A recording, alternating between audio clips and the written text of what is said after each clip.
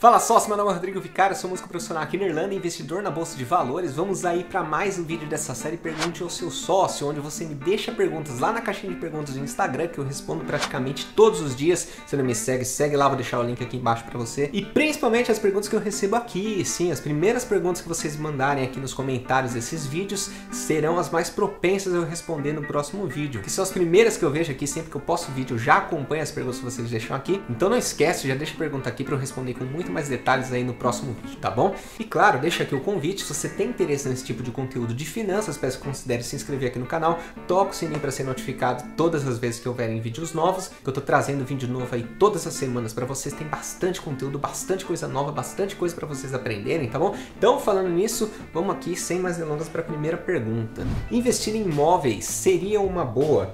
Ao contrário do que se diz, sim, criou aí um estigma que a gente tem sempre que tomar cuidado quando o mercado começa a afirmar muitas coisas. A gente tem que usar nosso senso crítico, a gente tem que questionar o que o mercado está dizendo, o que as pessoas estão dizendo por aí e começar a entender onde que aquilo faz sentido, onde que não faz. Uma dica que eu dou para qualquer coisa relacionada a investimento para você é: não existe certo e errado, não existe algo binário, não existe um e zero. A gente está falando de um universo de um mundo, né? A gente está falando de muitas variáveis, a gente está falando de muitas coisas para serem analisadas e óbvio que cada pessoa vai interpretar de uma maneira, de um jeito. Óbvio que uma coisa vai fazer sentido para uma pessoa, outra não vai fazer tanto sentido. Então a gente tem sempre que julgar porque investimento é algo completamente pessoal. Tá dito isso, dito esse monte aí de lição de moral, por que que sim é um bom negócio? Quando você compra um terreno, quando você compra uma casa, um apartamento, investe num, num conglomerado industrial industrial, logístico, qualquer coisa que você tem a oportunidade de comprar, está comprando um ativo real, você está comprando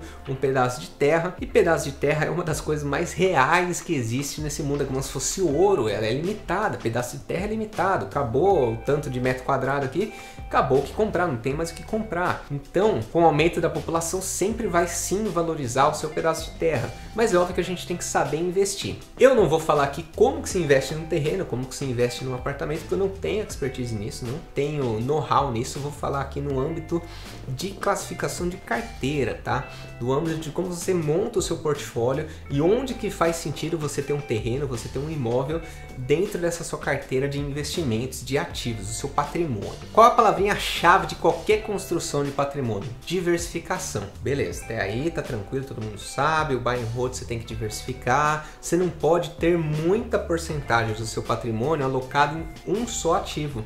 Então é aí que mora o problema de você investir num terreno. Quanto que está um terreno hoje aproximadamente? Eu não sei, 200, 300, 400 mil. Vamos pensar num apartamento. Quanto está um apartamento? 1 milhão?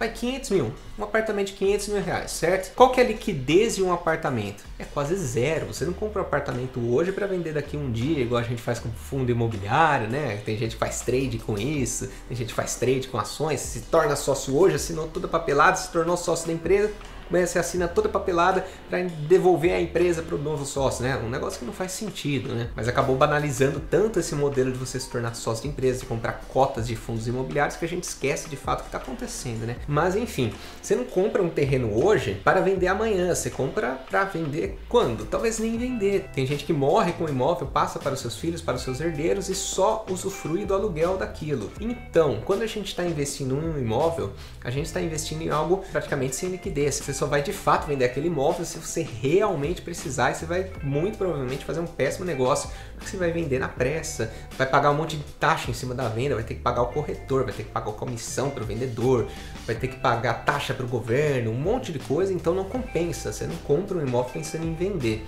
mas sim, ele valoriza, ele cresce no seu patrimônio. Agora, se eu estou comprando um apartamento de 500 mil e eu tenho a ciência, eu tenho a noção que nenhum ativo na minha carteira, nem VEG, nem fundo imobiliário, nem Google, nem nada pode corresponder mais que 10% da minha carteira, então estou dizendo que esses 500 mil do apartamento tem que corresponder 10% ou menos do valor total do meu patrimônio. Quando que 500 mil vai ser 10% ou menos? Quando eu tiver pelo menos 5 milhões de patrimônio. Então esse é o grande X da questão. Só começa a valer a pena você investir em imóveis para longo prazo se fizer sentido dentro da sua alocação total da carteira. Ah, mas eu comprei um imóvel, não sei o que tal, e eu fui fazer umas contas e ele está valendo 40% da minha carteira. Então você está colocando 40% do seu patrimônio em algo sem liquidez e com alto risco, porque você acha que não tem risco investir em imóveis, né?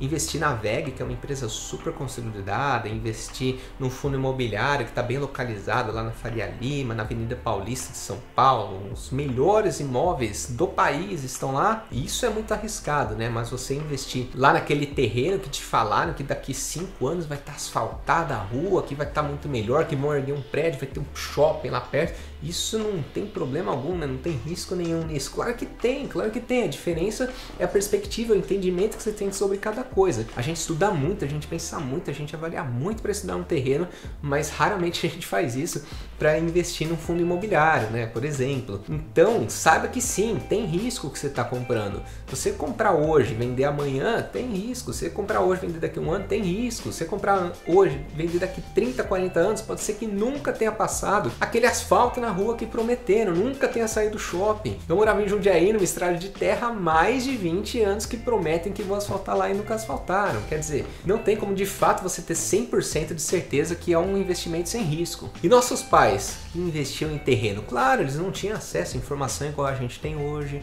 eles não tinham esse monte de youtuber explicando para você sobre buy and hold, sobre ações, fazendo análise completa, eles não tinham essas informações. O que tinha na realidade nossos pais eram terrenos, eles estavam lá, acessíveis, não tinha um monte de gente precificando aquele terreno, eles conseguiam sim fazer barganhas. Não existia internet direito na época, não tinha tanto acesso à informação, então eles conseguiam, às vezes, pô, como que o cara não viu que esse terreno aqui tá valendo 10 milhões, eu vou comprar por 1 milhão? Então sim, na época fazia muito sentido e outros eles pegaram esse boom, essa explosão demográfica no mundo que só cresceu e valorizou o terreno. Hoje a gente tem muito mais opções, a gente pode investir melhor, a gente pode diversificar, se você tiver a chance faça. Estamos aqui para ajudar. Estou aqui, um monte de outros youtubers também entregando um monte de conteúdo para você investir melhor, tá bom? Então, leve-se em conta aí. Segunda pergunta seria: o que você acha de empresas do setor de construção civil? Mudei muito minha cabeça quanto a isso quando eu vi uma live do meu amigo Asvid canal do Azit. Se você não conhece, vai lá, dá uma fuçada lá, tem um monte de lives completas. Se tiver tempo, se gostar de fato de investir, de estudar, de entender as coisas, ele, ele faz análises completas de setor, de empresa multinacional. Então vou deixar o link aqui embaixo para você ir lá. Não, estou ganhando nada para isso, tá? Só meu amigo e uma fonte de aprendizado, de onde eu trago muito conteúdo aqui para vocês. Mas tem que ter paciência, porque as lives têm duas horas, duas horas e meia, né? São completinhas. Enfim, mudei muito minha cabeça quanto a investimentos em empresas do setor setor de construção. Por quê? Antes eu tinha aquela visão, empresas do setor de construção são alavancadas, são endividadas, são problemáticas, um dia vão trazer dor de cabeça e para mim não confio a longo prazo. Porém, foi quando eu entendi que algumas empresas são assim. Não é característica do setor, é que é fácil para o setor captar dívida, mas tem empresa que mesmo com essa facilidade não capta dívida. Então eles não se alavancam. Um exemplo disso, Exetec tem muito mais caixa do que dívida. Eles têm dinheiro em caixa, eles estão tranquilos. Como que funciona basicamente? Isso é muito legal. É muito legal esse setor de construção. Vou trazer aqui para vocês, tá? O setor de construção aqui de uma forma bem grosseira e resumida para vocês. Uma incorporadora ela vai ter três etapas. A primeira, ela vai comprar o terreno lá. A segunda, ela vai fazer a venda desses terrenos. A terceira, ela vai entregar a chave. Adivinha onde que ela ganha aproximadamente 50, 60% de todo o dinheiro que ela investiu nessa primeira etapa?